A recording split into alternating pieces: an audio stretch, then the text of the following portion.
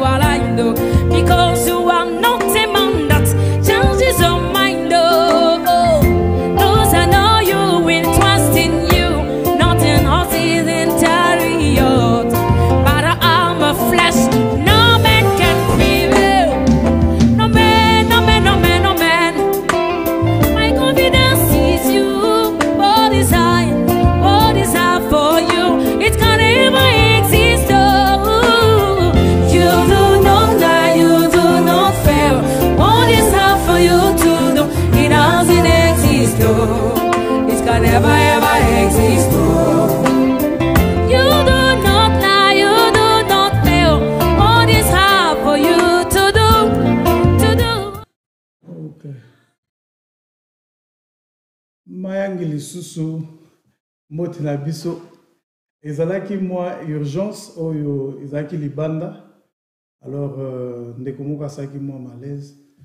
euh, ndeko ya biso kutu te ya bapolonais je crois mais comme euh, nayebi first aid donc tozalaki oblige tosala ye secours vite fait mais ça va ezalaki na moko mpenza likambo moko ya grave te yango wana tosalaki mwa déplacement donc euh, par là eza kaka kolakisa biso ke tala biloko mosusu ya mike mike oyo tozwaka yango kaka euh, à la légère mais ekoki mpe kobikisa vie ya motu donc euh, mwa likambo moko ya moke ndenge wana mais toutefois tout est dans l'ordre donc euh, ça va alors je disais motu akoki kozala abimi na mboka na ye aye na mboka mosusu sikoyo na mboka mosusu wana il faut asintegre fo ayekola ndenge nini mokili wana ezali tozomona lokola napesaki ndakisa bamaladi oyo bazobenga maladi euh, ya depression postnatale elingi oloba mwasi ake kobota aboti mpe malamu azongi me na nsima kobota wana akomi kosala badepression biso esika towuti ezalaki mama ake kobota Mokolo ekomi ke mama azonga na ndako, bandeko na ye, baninga na ye balandi ye kuna, bazwi mama bamemi ye lere mosusu na salon de coiffure, babongisi mama boye na boye tout ça. Mokolo mama azozonga na bebe na ndako, na bebe ya sika na mama pe ya sika. Okomona pe na papa pe donc libala ezongi makambo nionso ezongi normal. Ozomona? Or kobota eza liwa, kobota eza makambo ya maseki te. mwasi mosusu akoki kozala aboti mais après wana akomi kosala ba dépression bon soki yo outi na culture moko oyo bozokoka meme kodetecte te ke moto oyo aza kosala dépression omoni kaka mwasi azongi akipe bebe mabe asala boye mabe ye wana alamba ye wana lisusu asa ye wana lisusu mwasi na mobali na papa donc ozomona ke nzoto na ye euti kobimisa motu ezwi temps ya kopema te ezwi temps ya ko se reposer te mbala moko akoti na kati ya routine alors omoni biloko ya mike mike wana le mosusu na culture esika yo owuti eza likambo mo ah, elekaka nango boye na boye tusa mais or ekoki peut-être koleka nango parce que boza na environnement oyo bakoko baza mama kulutu mama leki tata mwasi donc bozali unité mobimba baza pembeni ya mama me na mboka oyo ya bapaya c'est pas le cas mama aye na situation moko aza kaka ye na mobali na ye na bana na bango mobali le mosusu akobima ntongo ake mosala ti akozonga na pokwa Maman wana awuti kobota, akipe bebe, akipe kolia ya bana, akipe ba mosusu bakende classe, akende donc ozomona que azo ko accumuler makambo ebele et na makambo wana ebele mama aza ko accumuler ntango depression wana poste natal e attaque ye leo mosusu mama azoyeba te akokende kosenga aide epai ya nani akobandela esika nini epuis na kati ya communauté akosolola na nani mpona ya mosusu soki alobi azosala depression bato bakomona lokola ah depression susu eloko nini wana makambo nini yango susu wana makambo alors que eza nzoto eza nzoto eza na baproblème oyo eatakaka bongo eza lokola nzoto eza komplike eza na badocteur ba mosusu atanga asilisa bakelasi na ye me ye aswaniaka kaka mosapi c'est-à-dire azali kaka expert na mosapi kaka mosapi c'est-à-dire makambo etali misapi nde yango esika ye ayebi mosusu okomona ayebi bongo mosusu okomona ye makolo mosusu okoyeba o oh, motema mosusu bongo mosusu c'est-à-dire corps ezali eloko moko eza machine moko eza tellement compliqué que n'importe quel likambo ekoki ko troubler yango kasi soki bino boza na kati ya communauté oyo boza ferme boza renferme na bino moko c'est-à-dire boza koshare ba knowledge te boza kosolola te ndenge touti oloba likambo ya bafirst aid awa ke bapremier secours ke moto akwei kao e eh, oske oyebi premier secours obien oyebi oyebi te obien donc il faut faire quelque chose likambo moko ya urgent ekoki koya il faut yeba parce que même papa maman na kati ya ndako il faut yeba premier secours eza nini mpo okoki kosecourir mwana na yo olio banda kolela obanda koganga balobi pratiquement les cinq premières minutes eza crucial parce que ekoki kodétermine soki moto wana akovivre to akovivre te tomonaka mwana na biso uh, oyo mwamba ntango asalaka uh, crise na ye na stade donc basecour oyo esalemaki na bapremière minute wana yango esauvaki vi na ye ki docteur mosusu azalaki na kati ya stand lokola na, na bato nyonso bafanatique baye kotala match ntango mwamba fabrice na biso azokweya docteur wana deja ndenge docteur aza kokota mbala moko na terrain batuni yo nononono naza médecin epuis neti kaka nzambe mpo bakokai mpe koboya akota me akoti aye kosecourir mwana wana lelo oyo toza na ye na bomoi donc biloko mosusu ekoki koya na ndenge ebele parce que nzoto eza compliqué wana eza lokola tozolobela na likambo etali depression postnatale ndeko bongo otyela biso numero baoyo bakoki mpe koapuye biso baoyo bakoki mpe kobakisa un plus en tout cas s'il vous plaît il faut koshare bainformation wana il faut kotya yango na mesa mpo bajeune bayeba ba jeune bayeba lelo taux ya divorce ekomi makasi na ba jeune entre 18 ans na 25 ans c'est-à-dire 18 ans na 25 ans taux ya divorce ekomi makasi sikoyo na ndenge tozokende wana ya ba 18 ans na 25 ans na kati ya communauté tokomi na ba jeune fille ebele eh, aza ye moko bana misato bana mine tata oyo tata oyo tata oyo tata oyo eza likambo ya kofinga te oubien likambo ya kotyola te eza nde mpo na kotalisa kaka ke soki tozwi soin ya makambo oyo te tokoprevenir yango te na baoyo bakoya nsima Elingaki ezala malamu to prevenir yango na ba oyo baza nanu na bomoyi. Na ba oyo nanu ba koti nzela wana ya libala te. Po ba yeba biloko oyo ezali ko zela bango. Parce que eloko nini eza ko mema na divorce? Ezali ba choc. Parce que tant que boza copain copine, eh, tout le monde fait ce que tout le monde veut. Donc makambo nyonso ezo okende kitoko boye na boye tout ça. Mais kovanda ndako moko na motu bokomi kolamuka nzela moko bokomi kolamuka ndako moko bokomi kobrose mino nzela moko okomi koyeba mpenza motu parceke motu oyo okutanaka na ye asi alataki asi abongamaki wana nanu oyebi ye te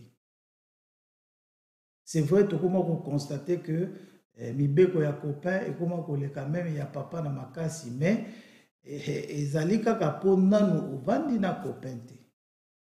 soki okomi kovanda na ye comme étant mobali na yo nde okoya kodécouvrir que eh, il y a des choses eza ndenge efale ezala te omoni parce que mobali mpe aza kokola yo mpe mwasi mpe oza kokola c'est-à-dire bino mibale bozali kokola motu na motu aye na makanisi na ye oyo awuti nango bipai bipai kasi bashoke wana ya bato basangani makambo oyo akuti oyo leo mosusu ye ayebaki te ekomi kosala bachoc ekomi kosala badepression ekomi kocreye basituation oyo okomona une jeune fille ya 21 ans ya 22 ans aza déjà divorcé mare de 2 3 enfants na allure wana ye moko aza mwana akomi na bana mibale misato sikoyo lobi ntango akoya kozwa mobali mobali wana mpele ya mosusu bekoluka babota c'est-à-dire eza basituation moko oyo euh, eza facile te oui ekoki kosalama une ou deux fois mais baoyo batikali na nsima biso en tant que communauté il faut tosala nini il faut tosala effort totelemela makambo wana tobongisa basituation wana Po soki tobongisi ba situation wana te tozali kosunga bana na biso te. Parce que libala eza liseki te. Libala en soi ezali liseki te. Libala en soi eza mariage euh, c'est-à-dire fête ya mariage te. Fête ya mariage c'est eza même eza mwa eloko moko ya moke na kati ya libala parce que libala ezali commitment libala ezali engagement yango nalobaka na ebandeli ntango tozali kosolola bemission mosusu nalobi libala epa na biso ezali alliance entre deux familles parce que babalaka moto moko te me basalaka alliance na libota na ye libala eza alliance sikoyo alliance wana soki esalemi malamu nde bato wana mibale oyo basangani bakobima na benediction me soki bango mibale basangani epesi te na ndenge ya famille bakobima kaka na alliance ya pamba me babimi na benediction te or moto soki abimi na benediction te nous sommes des bons tout nous sommes des bantous okomona ke ekozala na banungunungu oyo ekobanda kolanda ye nungunungu ekobanda kolanda bango mwa likambo moke oyo akoluka blame oyo oyo akoluka blame oyo epuis comme ça boza kokola na bana boza kokolisa bana okomona suka na yango ekosimba te Maintenant, pour eviter biloko wana nionso, ba oyo basi bakatisi ebale, bango nde mutu bakoki kopesa conseil na ba oyo batikali. Et tala nzela wana bozoya, eza kote oyo eza mangengenge, kote oyo eza boye, kote oyo eza boye, kote oyo eza boye. Mais biso na kati ya communaute na biso, qu'est-ce que nous constatons en ce moment? Ezali mutu na mutu azosala système ya kiaku kiaku, kiangana kiangana. c'est-à-dire oyo ya nga eza ya nga oyo ya yo eza ya yo or na kati ya communauté ya yo ya yo ezalaka te nous sommes ensemble na kati ya situation oyo nayebaka mokolo mosusu nazalaki na congo nakutani na ndeko moko azalaki na mbwa sikoyo mbwa na bango azalaki na mwa bapota na matoi sikoyo natuni ye ngai abi ah mbwa oyo ndenge nini aza na bapota na matoi oh, ah, no awa ah, kutu ezalaka nango boye boye na boye tosanga abi te meme motu soki babi kozalaka kaka na pota na matoi ezalaka nango kaka boye eza normal te ndenge moko mpe mpo na mbwa koma avandi esika bato baza akozalaka kaka na pota moko boye te ezalaka kaka Ngabi parce que mbwa oyo akoki ko affecter ville mobimba ya Kinshasa pe a affecter Congo mobimba. Ah, oyebi ke moninga na bandi osekabi ah yo pe. Yo pe na ba logique na yo. Eza impossible mbwa oyo a affecter Kinshasa mobimba. Eza impossible. Ngabi se nga labi te, eza impossible te. Laisse-moi t'expliquer. Ngabi omoni na kati ya ndako na yo oza na bana. bana na yo basakanaka na mbwa n'est-ce pas abi wi ngabi bo soki mbwa wana aza na maladi apesi yango mwana na yo moko mwana yo akendaka classe o oh, wi ngabi sikoyo na classe na bango bana bazalaka boni namoni deja akomi deja kolemba ngabi admettons na kati ya classe wana bana na bino bana ya bana classe ya mwana na yo bazalaka 30 ou voir même 20 or na kinshasa toyebi lea mosusu baza 60 tozwa meme soki baza 20 ngabi mwana na yo akokende akontamine 20 personnes oyo azalaka na bango na ekole na kati ya classe moko ngabi bosiko 20 personnes wana ntango bana wana oyo 20 olongoli mwana na yo batikali 19 19 wana soki bazongi na bafamille na bango moko moko moko moko moko na kati ya bafamille na bango bato baza combien sikoyo na kati ya bafamille na bango bana baza combien bakendaka mpe classe ndeko wana bisinga atikaka ah, tikaka tosi tocomprendre tikaka babi mais c'est comme ça justement ndenge makambo yango etambolaka cetadi soki eloko moko ezali yango moni meme na biblia bazoloba soki mosapi na yo eza kokoze yo okota na mabe kata yango kata yango elakisi te ke okoma o ampute mosapi na yo elingi koloba ostope makambo ndenge ozo kotambola wana parce que eko affecte mboka mobimba koaffecte mboka mobimba lelo tomoni yango mboka na biso eza na tout mboka na biso eza plus riche que japon mboka na biso eza plus riche que angleterre mboka na biso eza plus riche que bamboka ebele mais pourquoi todekole te pourquoi ça marche pas chez nous donc c'est pas les richesses moni toza na crise ya, ba, ya bato c'est-à-dire nous n'avons pas les hommes qu'il faut toza na bato oui mais eza bato oyo basengeli te na babisika songolo donc omoni que eloko moko ya moke ekoki koaffecte mboka mobimba eza ndenge moko na maladie mentale c'est-à-dire eloko moko oyo toza konéglige tozomona kaka ke ah, te bana lelo oyo ndenge ba génération ya sika ah, bana lelo oyo bana non mes chers compatriotes eza likambo ya bana ya lelo te baproblème oyo tozo kotraverse lelo eza mpe baproblème oyo bakoko na bandeko batata na biso mpe batraversaka yango lelo biso tozwi chance parce que accès na information ezali mpenza euh, je ne dirais pas facile mais ezali même voire même rapide eza peut-être difficile mais eza moins rapide c'est-à-dire okoki kozala na problème ya internet mais ntango okozwa accès na internet mpo na obenda information eza rapide eza très rapide donc bainformation ezali wana mais quitte à nous tokenda sikoyo toluka information wana mpo na ndenge nini tokoki kostabilize bongo na biso ndenge nini tokoki kostabilize ezaleli na biso tozwi lokola maladi oyo euti kokweyela biso ya covid-19 ondimela yango ondimela yango te kasi eza na bato bazokokufa na maladi wana sa eza fact eh, c'est-à-dire kote wana toza d'accord que bato baza kokufa me covid ememeli biso nini covid ememeli biso motu na motu azongi na ndako na ye nazoyeba ntango lockdown ya liboso eh, confinement ya liboso ntango eyaki mutu na mutu azongaki na ndako na ye sikoyo bato bazalaki na basi 10 basi 5 basi nini azongaki epai ya de base na ye ou soit azongaki epai ya oyo ye ayebeli kazalaka de base na ye c'est-à-dire tout le monde est rentré chez lui Mibali bazongi na bandako na bango esika basi na ye, mwasi na ye mpenza azalaka na bana na ye. Maintenant, qu'est-ce qui s'est passé? Bato mosusu amesana kokutana na mwasi na ye pendant deux heures. Akendaki mosala, azongi ake ba biyenga na ye boye na boye tout ça azongi na ndako na ye akoti aza presque fatigue asukoli batieli ye biloko ya kolia alie bonjour chérie comment ça va boni boni bana bacourse elekaki bien ok d'accord ale abandi koronfle akei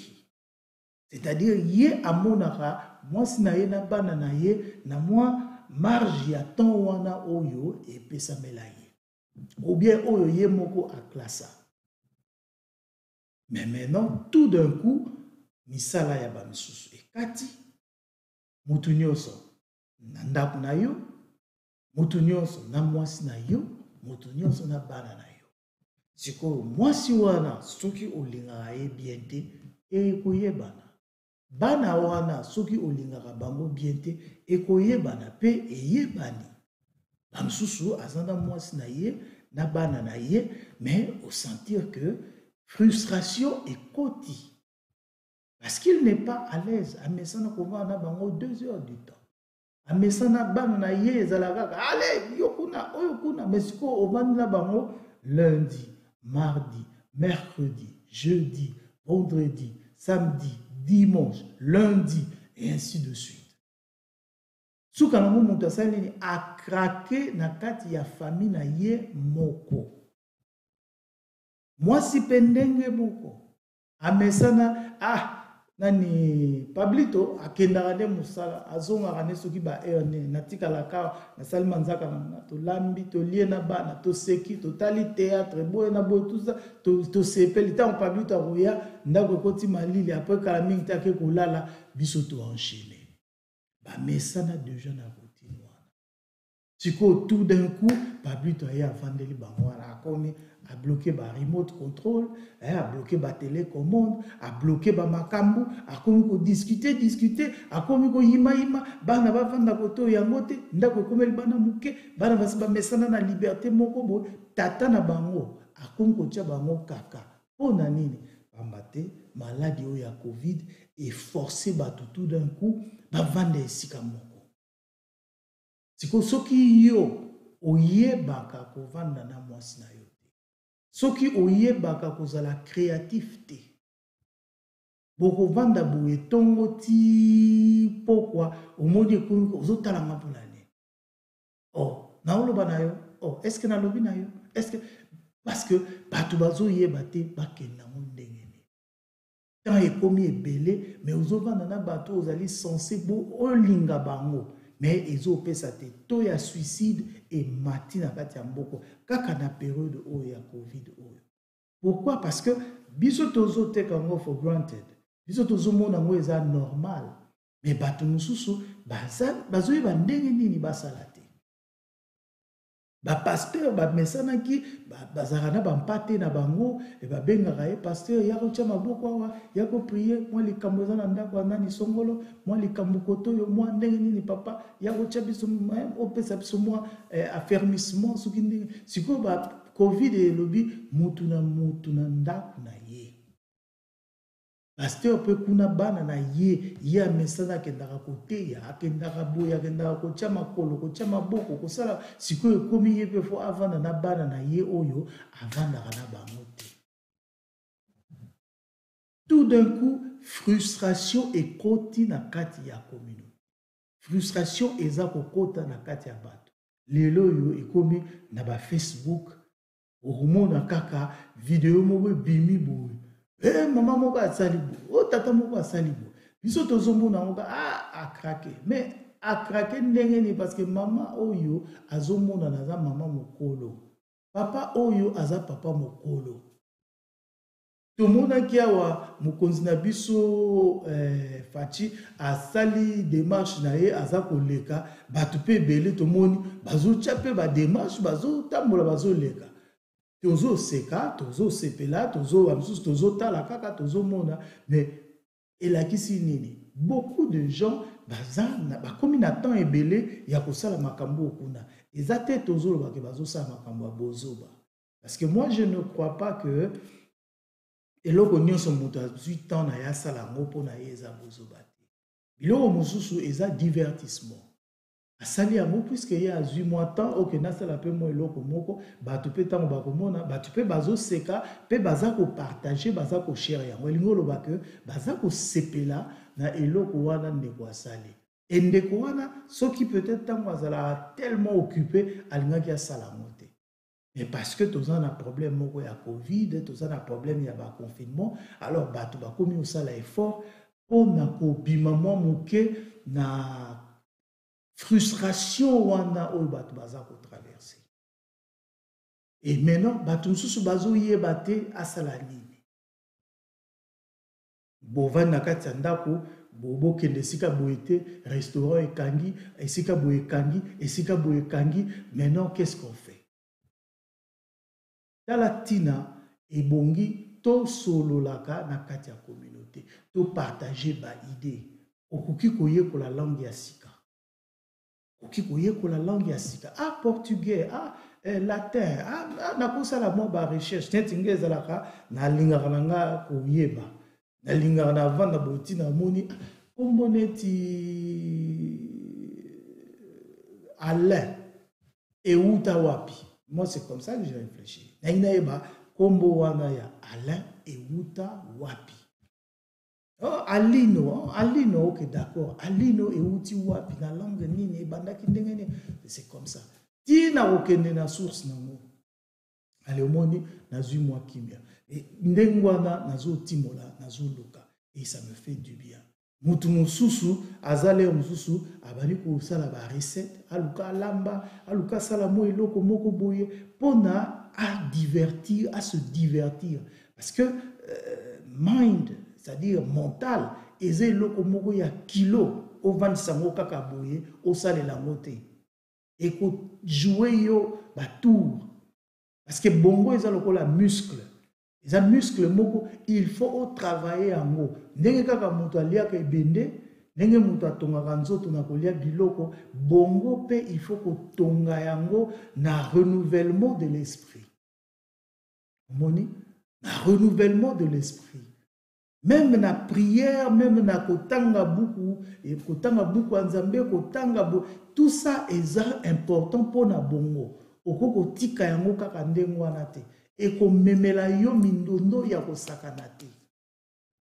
eza muscle moko il faut osalela yango et lelo na kati ya communauté tozo koma na difficulté parce que batu baza ko négliger oyo etali likambo ya bongo bato bazomona bongo lokola eloko moko ya pambala pambala elekaka na yango te batata bamama bongo eza eloko moko tata nzambe atya biso eza na motuya ya kosakana te il faut o entretenir yango il faut ozwa temps ya kopema temps ya kolala temps ya kosala bongo esengaka ezala stimule il faut ezala stimule soki ostimule yango te okokamwa batata bamama bokokoma kovanda na motu bobi oh, yoyo naomona oza lisusu normal te effectivement aza lisusu normal te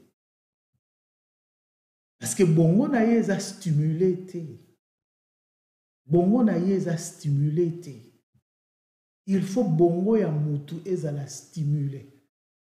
Po mutu azwa kimia na kati na ye. Ba maladies mentales ezali ebele na kati ya communaute, ezali ebele na kati ya mokili. Eza eloko moko tellement broad que meme ata tobandi ko enumerer eza ebele ya kosakana te. Nazwi ndakisa mosusu. Mibali ebele, ebele, ebele bauti na culture oyo que euh, l'homme c'est le chef l'homme c'est le chef l'homme c'est le chef mais le chef wana ayebi yango mutu na makolo te ye ayebi kaka chef nzoka chef role ya chef eza nini omoni un bon leader aza kaka moto te atelema liboso ya bato un bon leader aza moto atelema na nsima ya baninga nayebaka bana mpo heure moko na entrainaka bana na football nayebaka mokolo mosusu omona napesi moko nayebisi oke yo okozala capitaine ntango kaka ozoloba ne oza capitaine omoni mbala moko ake atelemi liboso ya baninga bango nyonso bazala na nsima na ye omona na seki ngai mpe ah d'accord donc mpo na yo kozala capitaine eza kozala liboso o oh, coach eh, bongo sikoyo ngabi te eza mabe te kozala liboso mais un bon capitaine il faut d'abord asassurer que baoyo bazali na nsima na ye ntina oyo aza suka baza prêt baza prêt Et ça, un bon capitaine, un bon papa, c'est pas quelqu'un qui s'habille bien et puis il est là devant sa femme et ses enfants. Non. Un bon papa, c'est quelqu'un qui prend soin de ses enfants et soin de sa femme. eza moto oyo atali bana na ye balati kitoko balati boye balati boye ah d'accord nga sikoyo nakolata boye parce que tomonaka okomona tata mobimba alati kitoko aza kongenga bonzenga bana mapalata na motu mama fula ekita mabe ezonga kote oyo mabe ozomituna babimeli ndako moko to babimeli ndako moko te mpo papa mpenza ne papillon donc makambo nyonso impeccable qu'est ce qui se passe qu'est ce qui se passe bobimeli ndako moko ou pas Donc eza biloko mususu oyo mutu azo kanisa ok je suis le chef je suis le chef elakisi kaka ngai ngai ngai te te chef elakisi bongo te chef azali représentant ya famille na ye to ya eloko moko songolo et chef il faut azala exemplaire sikoyo na mentalité wana ya ngai naza chef eza mentalite oyo soki ozoyebela yango motu na makolo te ekozala mpasi ekozala mpasi ya kosakana te na couple mosusu eza mwasi soki alobi likambo boye apesa yo omeli masanga yo eh, yo nazoloba nazoloba oh, voilà c'est comme ça il parle à sa femme sikoyo mwasi wana nde mama bana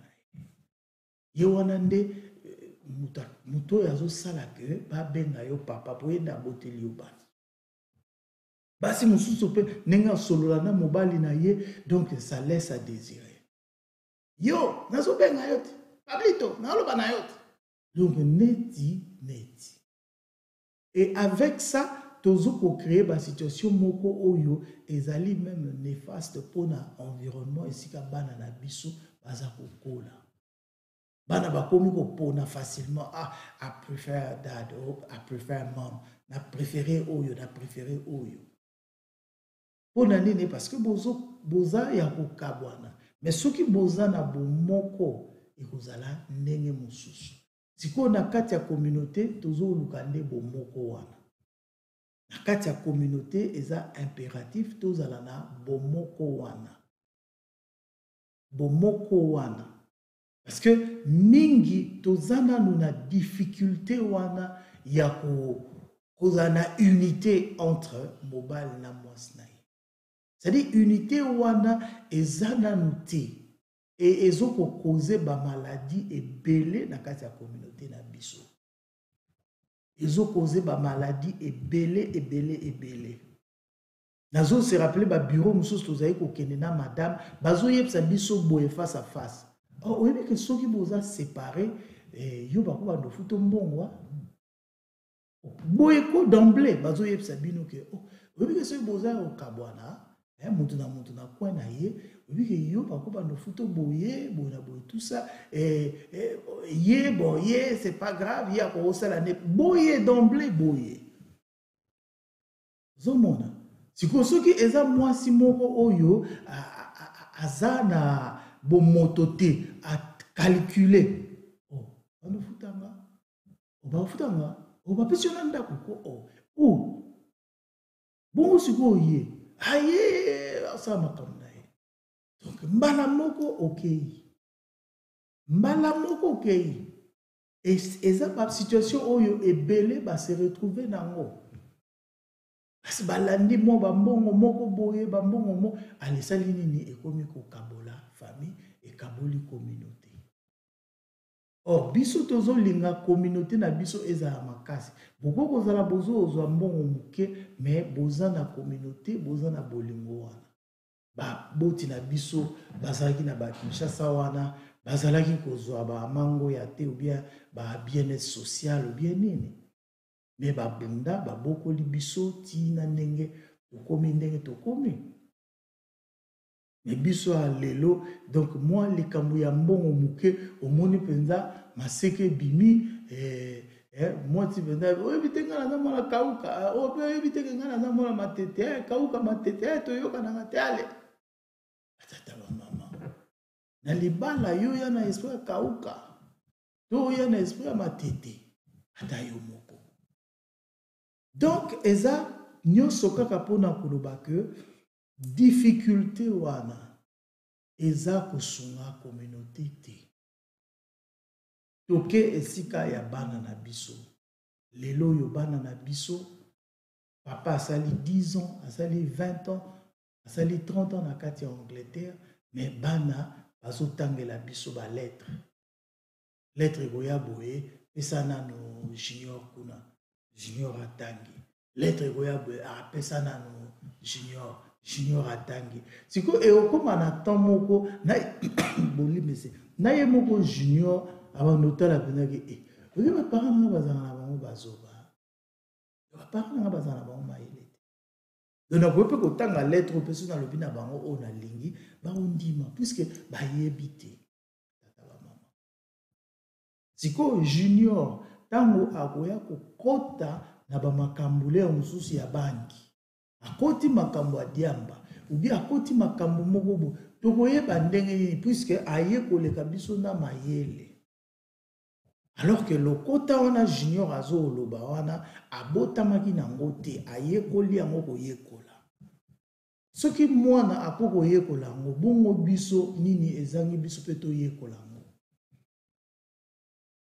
Mpo ngai naza moto oyo, ata omemi ngai na URSS, ata omemi ngai na Singapour, comme naza moto oyo nalingaka soki naoloba, naloba makambo eza na nzela. Il faut nayekola langue wana. Parce que nakokoka te ba interpretaka mpo na ngai tous les jours. Nakokoka yango te. Parce que c'est comme ça que j'ai toujours été. Il faut na se défendre nga moko. nakopesa biso ndakisa ya lingala lingala ezalaka langue ya étendue mobimba ya ekolo te lingala ezalaki langue ya bato ya makanja bato ya makanja nde bazalaki koloba lingala kasi lokola euh, léopold ii ndenge basololaka ye na stanley soki asali euh, Arme azwa nde batu ya makanja bangala batu wana nionso parce que tango Stanley azo bunda tango azo kota na mboka bitumba na ye penza a livraka ya makasi ezalaka na ba peuple wana alors a recommandaka bango eza kaka ndenge ezalaka makta ezo na bunda na bato ebele mais soki otuni akoba ah tout cas na na deux trois personnes moko vraiment na bunda na bango en tout cas ba wana deux fois te et c'était comme ça etango mpe basali ya armee basali yango na kokilate ville oyo eza lelo mbandaka bazwi bato ya makanja bambuza bangala bazwi bango na kati ya armee or comme langue ya bambuza langue ya bato ya makanja ezalaki lingala basetablir na langue na bango na kati ya bacamp militaire wana eza lokola bozwi biso ebele toza baluba tokoloba kaka baluba forcement ozwi biso ebele toza bakongo tokoloba kaka kikongo forcement baswahili ainsi de suite sika ntango bato wana babandi sikoyo koaffecte bango na baport na oke bino bokokende okengela port boye bino bokokende na frontière boye bino bokozala na ngambo boye bino bokozala boye bato wana bazwi nini lokota na bango oyo eza lingala bamemi yango esika bake tango ya kokanga bato boye banini baka ya obeda me basoda yango bazoloba monoko nini po bazoloba langu moko eza bizar boye ah lelo bakangai nga babeti nga antuka nga fo nayekola monoko na bango po jour bakokanga nga na se défendre ezalaki mécanisme ya défense nde esali ke lingala eye kosimplanter nde lingala eye kovanda ebandaki ndenge wana ebandaki nano na classe te ebandaki nano langue ya armée tala ndenge lingala lelo epanzani mokili mobimba ebandaki nano langue ya armée moni ndenge moko biso mpe toye na kati ya bamboka ya baangleterre tokómi na bafrance tokómi na bamboka esika esika okómi il faut oyekola langue parce que eko apaiser esprit na yo soki oyebi langue ekopesa yo kimia mais quand tu ne sais pas tozwa lokola mama monene na kinshasa otangaki ozali kosala baaffaire na yo boye na boye oyo okóma na mboka moko mpo oyebi anglais te okómi lokola zobazoba okómi lokola mwana aloba mpo na yo okómi lokola ndeko boye papa boye edenga boye na boye tusa soki bandimi bake na yo lokola mwana moko ya moke et na kati ya esprit na yo en tant que maman en tant que papa ça commence à te froisser okomi komona on dirait oza ko perdre valeur na yo est-ce que ngai vraiment ah comme nazalaki mutu monene nasomba boye nasala boye nasala lelo nakomi lokola mwa moke na kati ya nzoto na yo na kati ya ya pensée na yo na kati ya makanisi na yo ça dérange et quand ça dérange comme ça ça te diminue Et quand ça te diminue comme ça, okomi ko perdre amour propre na yo. Et tala ndenge ba maladie eza koya ndenge wana. Parce que tu ne crois plus en toi-même. Okomi ozo tala na miroir boye, ah, ah, nga tango nazalaka. Ah, ngai, nga tango nazalaka. Ah, nga penza. ekongo soki natelemi bato bamoni nga soki nga nazalaki nga nazala pourquoi et pourtant oza nano très jeune Même si tu as 50 ans, même si tu as 60 ans, tu es encore très jeune. Mais pourquoi Parce que tu vis na katia mokili moko oyo, tu ne fais pas d'efforts. Et tu, de fois, c'est pas que tu ne fais pas d'efforts, mais tu ne sais pas comment est-ce que okoki kosala effort wana, nzela nini okoki kolanda. Nde tala tina tolobi benga, senga au secours, ask for help, ask for help. benga benga benga ajuna tuna parce que soki obombi yango mpo na yo lelo obombi lobi obombi lobi wana obombi bandeko na nga tozokota periode ya noel periode ya bachristmas eza baperiode oyo bato ebele ebele ebele ebele ya bato bapasaka temps moko ya solitude boza koimagine te nayebaka mokolo mosusu ndeko na nga moko tozalaka na ye abengi ngai parce que na periode ya banoel baperiode ya babone année nabimaka mpenza te navanda na ngai na ndako alors abengi nga oh, ndenge nini oza wapi ngai bino naza na ndako abi ah nazoya chez yo mais naza na de petit na ngai moko awa balobi baana esika kokende te estce bakoki koya ba tata ba mama esalaki nga pasi eloko wana que ba jeune garçon periode ya noel baza na esika kokende te baza na mposa mpe bavanda mpe na bato balia bamela eza noel tout de même basengi ebele te basengi bamilio te basengi kaka bapartage yango na bato boye ndenge tomonaka na baeglize basalaka baveye de prière tout ça eza kaka mpo na kosangisa bato me eza mpe na bato mosusu akokoka esika wana ya bato ebele te ya makelele te azali ye mosusu na mposa afanda mpe kaka te esika moko bakongole baza me baperiode wana ezalaka komona nganda ekangi esika boye ekangi esika boye ekangi bosikoyo na ntango wana batata bamama nga sikoyo nalobaka ah koyelanga babato ante nayebi bango te soki baa mpe bacor soki banani koya na bango ante wana nakomi nani nayebisi ndeko ah yaka na bango te yaka na bango mama mpasa kosala biloko ya tolia soki ndenge nini et c'est comme ça parce que biso tozomona yango kaka noel yo oza na bana na yo ya des gens awuti koya mboko oyo bapesi ye mwa rume moko eh, mwa chambrette moko azovanda il est tout seul Mutu na ye eza ya koningana azo kanisa tata azo kanisa maman mboka malili azo passe Noël bonne annee biso togangaka na Kinshasa bonne annee ye ako passe yango tout seul et mental na ye ekozwa un grand coup un très grand coup et biso en tant que communauté esengeli totala autour de nous autour de nous pour aider tous ces gens là Surtout na ba periode oyo eza ba periode moko crucial eza ba periode moko solitude ezalaka makasi tomonaka bazotia meme bacommunike bazotia meme bafilme ya mike na televizio parce que eza ya periode oyo bana misusu surtout bana mindele bamesana ifo azwa mwa kado ifo azwa mwa nini donc meme na bamisala bazoloba boya ata na bakado botya na kati mpona bakende kodistribue na bana bazwa ata eloko moko parce que bayebi eza periode moko oyo ezalaka na solitude makasi et biso en tant que communauté nous devons faire un effort mpo na koaider ya des personnes âgées bamama na biso na bapapa na biso mosusu basi bakoli baage ekusani periode oyo tata aza wana tata aza wana mama bana baza awa te bana baza mosika bana babala bana bakenda yo sikoyo ntango oyebi bato wana esika bazali en tant que communauté luka okanga ata koko moko okanga ata mama moko ah mama yaka to passe temps na yo awa na noel ovanda na biso ovanda na bakoko na yo tolia tosa ça va aider na moral na mental ya maman wana au lieu que totika ye avanda parce que tobosana te biso mpe nzela wana yango tozokenda tozokola ekokoma mpe na temps moko bana na biso mpe bakobala basusu bake singapour basusu bake australie basusu bake ekoma na temps moko yo mpe otikali yo moko tikali yo moko batata bamama sikoyo yo ntango okotikala yo moko soki bato babengisi yo ata bavanda na yo bazala na yo ekosala oyo elengi te basali mwa elubu basali mwa kwanga basali nini ah maréchal yaka koko maréchal yaka vanda lia mwa nini estce na osilika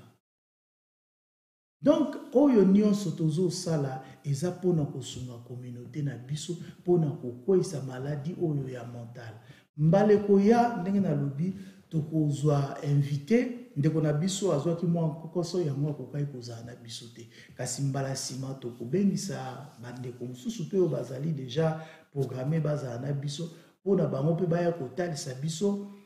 ba problème mental oyo problème mentaux mosusu oyo bandeko mosusu baza nango oyo baza kotraverse e ndenge nalobi eza tellement eloko moko monene eke mutu na mutu akoya na mwa eteni na ye oyo tokoki kofocus nango mpo na kotala ndenge nini tokoki kosunga bato na cadre ya situation wana batata bamama mpo na lelo oyo tozalaki nango ya koloba yango wana bolimbisi mpo na mwa bankokoso ya mike mike tozwaki kasi toza kobe kobunda tozosala effort mpona topesa bino mosala moko ya malamu mpe ya kitoko nga ndeko na bino kokoni ongole maréchal de congo napesi bino losako tika ete kimia ezala omboka bino tika ete weekend ezala elengi mpe malamu mpona bino matondo